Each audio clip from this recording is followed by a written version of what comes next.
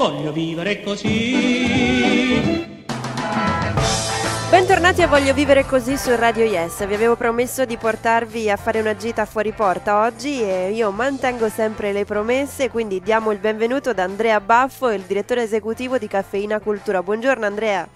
Buongiorno, buongiorno a voi.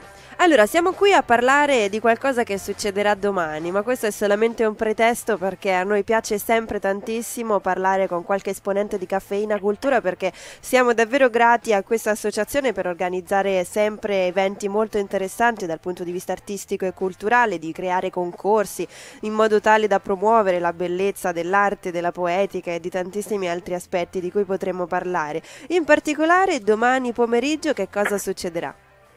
Dunque, domani pomeriggio succederà che, come nel più tradizionale degli appuntamenti, Caffeina, nata dall'esperienza del festival, poi fattasi fondazione culturale solo un anno fa, darà gli auguri di Natale a tutti amici, soci, simpatizzanti, insomma a tutti coloro a cui sta a cuore questa avventura, questo sogno, eh, in un eh, luogo del centro storico della città di Viterbo eh, che per un giorno, eh, per, per, scelta nostra, insomma affinché dalle parole diventasse realtà, eh, si, si, apre un locale nuovo, un caffeina bistro, cioè un ristorante del, del, centro storico per un giorno è a servizio del festival e diventa un luogo di incontro, di musica, di divertimento e di scambio.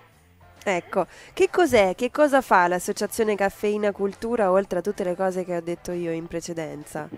Dunque, allora diciamo così che la caffeina eh, come, come, ho appena detto, è nata da un'esperienza di un festival. Diciamo che uno dei, dei pochi casi... Che si so svolge ogni anno da un sì. po' di anni a Viterbo, ovviamente. Esatto, in estate, da fine giugno Esattamente, esattamente. Ne abbiamo parlato Quindi, molto spesso qui a Radio Yes. Bene, vi ringrazio molto anche Grazie perché una, si tratta di 11 giorni consecutivi eh, di incontri con gli autori, quindi letteratura, eh, saggistica, ma anche teatro, musica eh, e molto altro. Cioè, questo lo dico perché il Caffeina nasce come contenitore letterario ma sempre di più diventa poi sostanzialmente un festival de- della cultura per scelta. Eh, vi do un numero su tutti, in 11 giorni nel, nell'estate scorsa si sono svolti oltre 450 eventi, quindi di questo ecco, si tratta. Tanto per, in, no? Sì, in tutto il centro storico della città. Basta considerare che sono 19 le location che sono utilizzate per, per, realizzare il festival,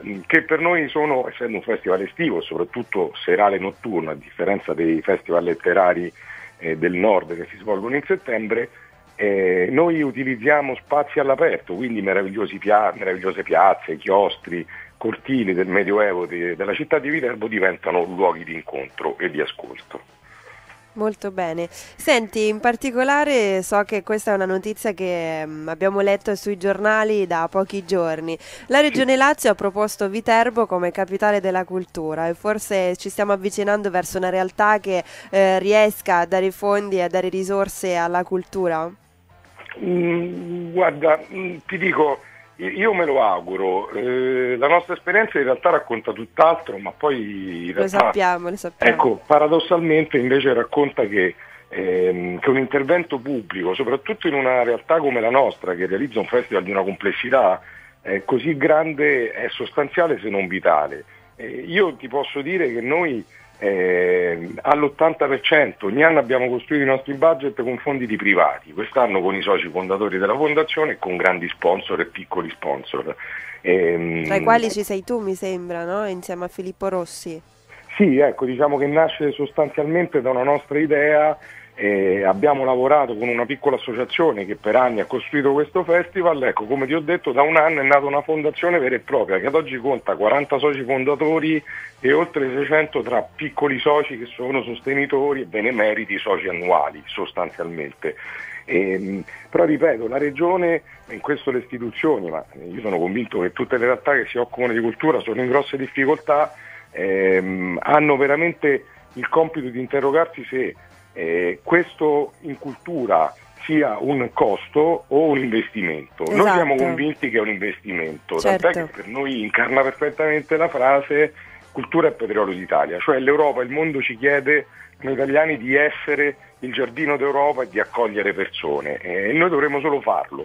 Ecco, tra pochissimo parleremo anche del concorso Cultura Petrolio d'Italia, ma a proposito di fondi eh, di questi argomenti, domani sarà possibile anche acquistare le azioni di caffeina. Cioè, esatto. che cosa Esatto. vuol dire? Dunque vuol dire, allora, le, le, diciamo che le azioni è un'interfaccia eh, il più giocosa e per dare un attestato di riconoscenza alle persone per dire investi in cultura. Associatevi. Diciamo, esatto, il, l'azione è un modo per dire, insomma, ecco, è un'azione azionaria, in realtà si sta acquistando a partire da 10 euro la partecipazione alla vita di una fondazione, che significa viverci dentro, proporre, essere eh, agevolati sugli eventi e soprattutto evitare che questo sogno poi muoia, perché poi di questo si tratta. Esattamente, mentre volevo chiederti appunto come sta procedendo il concorso Cultura Petrolio d'Italia che eh, vede la partecipazione di chiunque voglia inviare la propria opera d'arte a partire da un articolo giornalistico fino a un racconto, un dipinto, un'immagine, una foto.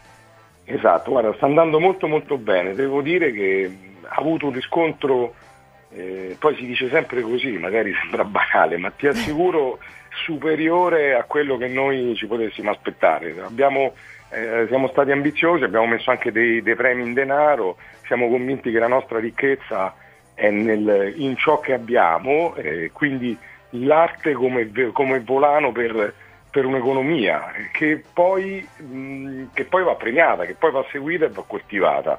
Eh, stanno arrivando un sacco di elaborati, ricordo che c'è tempo fino al 30 gennaio. Chi le giudicherà, ricordami Andrea?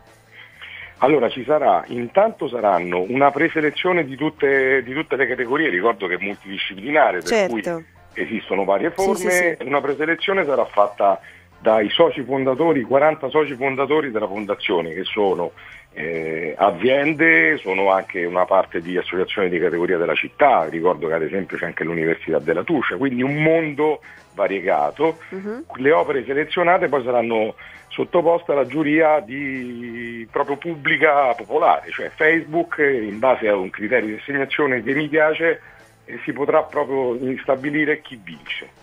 Ecco, molto bene. Mentre quali saranno le iniziative in progetto in questo periodo? Nel senso, sappiamo che ci sono diversi eventi in programma, come per esempio giovedì 19 dicembre il For Love Gospel Quartet, ad esempio, che sarà, suonerà all'Hotel Salus Terme esatto, per caffeina. Per caffeina, qui devo dire per dovere, perché è giusto che è in collaborazione con il Jazz Up Festival, una realtà della città molto attiva che dallo scorso anno è diventata una parte essenziale del nostro festival Caffeina appunto. Ehm, poi ricordo che il 22 dicembre alle ore 18 a Viterbo al Teatro San Leonardo faremo la presentazione e ospiteremo la grandissima Anna Marchesini per presentare il suo ultimo libro. Moscerine. Eh, Moscerine, esattamente, ci fa questo regalo, un gratitissimo ritorno, l'anno scorso inaugurò Caffeina Festival, quest'anno, dato che poi la città ci chiede di fare attività tutto l'anno, stiamo tentando di farlo.